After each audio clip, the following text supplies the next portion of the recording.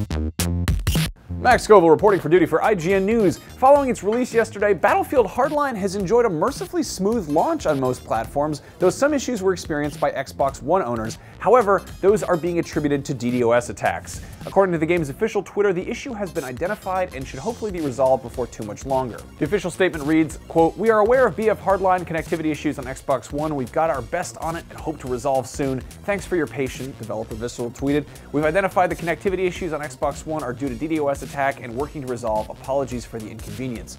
For those not aware, a DDoS attack is when someone increases the server load to an extensive level by flooding the network of targeted servers. They become overwhelmed by the pressure and, as such, suffer severe slowdown or even crash entirely. It's often performed by hackers, but it doesn't really require real skill to manage. It's sort of like a more complicated version of prank calling someone just enough that they stop answering their phone. Additionally, no personal information such as billing information or passwords can be accessed via these attacks, so it's generally just done out of spite.